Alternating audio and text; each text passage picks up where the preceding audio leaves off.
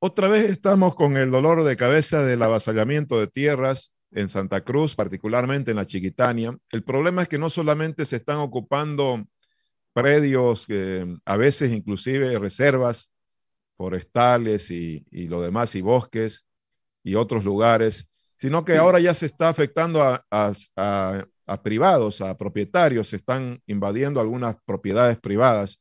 Lo ha alertado ayer el gobernador Luis Fernando Camacho, ha pedido una reunión urgente con los sectores productivos, posibilidad de convocar a la Comisión Agraria Departamental.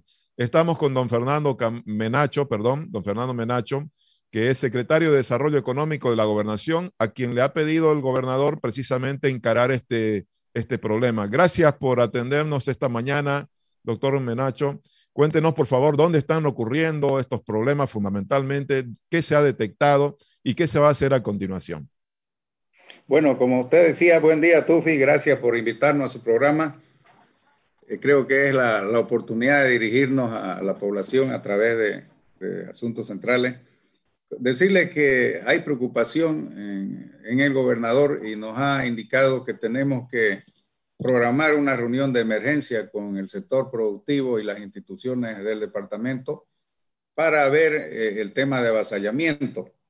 Él nos ha instruido que le demos prioridad a este tema porque ya preocupa el, que se esté avasallando tierra del departamento y también predios privados, ya entramos a que haya un nerviosismo en el sector productivo porque si, si ya se ha entrado a dos predios, esto puede seguir avanzando.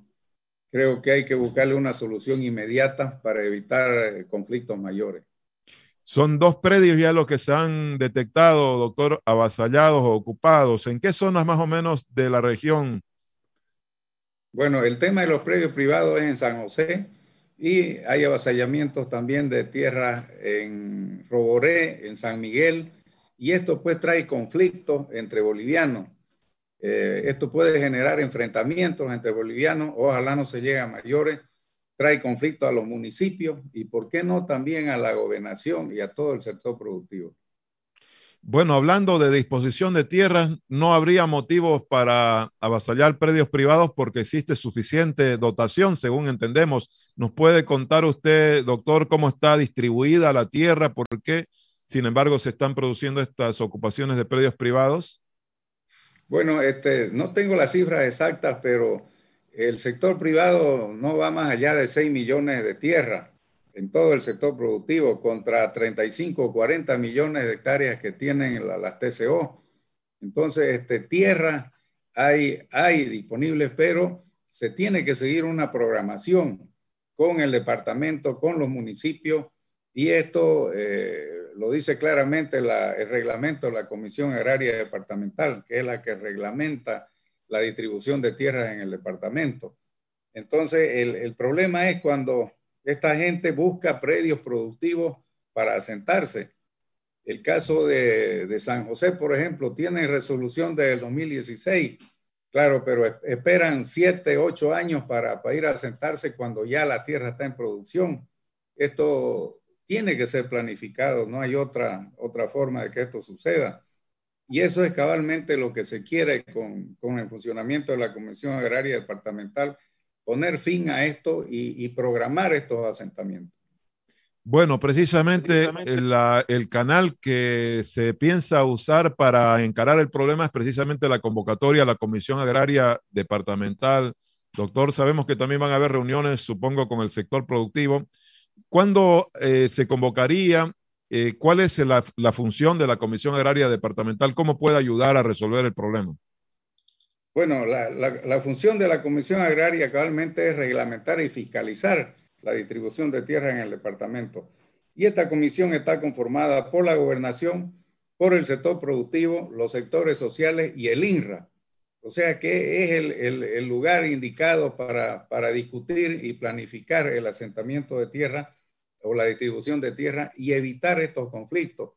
Pero nosotros estamos ya programando la convocatoria.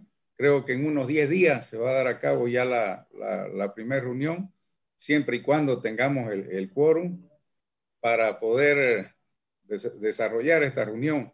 pero existe mucha presión de parte de las provincias para que esta comisión entre en funcionamiento. Esperemos que consigamos eh, que se realice esta reunión y de una vez dar fin a estos avasallamientos que tienen preocupado a la ciudadanía y por ende al sector productivo.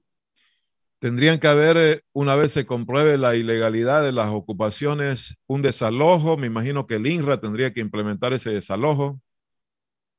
Mire, este, cabalmente como gobernación lo que queremos evitar son los conflictos entre bolivianos, porque esto puede tener como resultado enfrentamientos entre bolivianos y eso es, lo peor, porque esto aparte de atraer estos conflictos, trae problemas a los municipios y por ende a la gobernación en el tema de la planificación.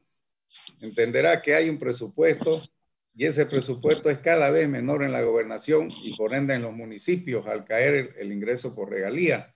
Entonces estas comunidades de bienes se asientan y después están solicitando que se les brinde servicios básicos, es decir, agua, tendido eléctrico, y eso afecta al presupuesto de la gobernación y afecta a la planificación de los municipios. Entonces es un problema que hay que tomarlo muy en cuenta antes de planificar estos asentamientos que vienen a, a crearnos conflictos.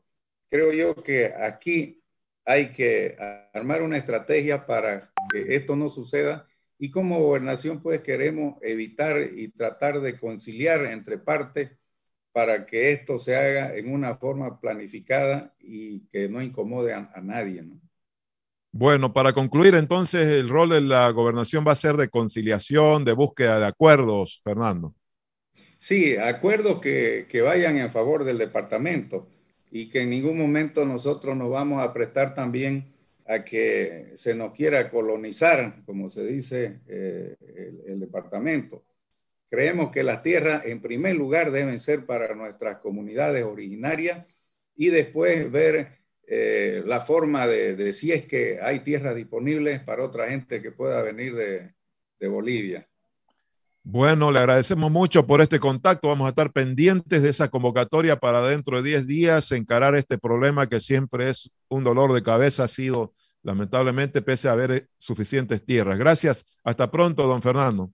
Muy bien, tú, y gracias por darnos esta oportunidad de hacer conocer a la ciudadanía este tema y bueno, estamos disponibles para cuando ustedes lo requieran. Gracias a usted.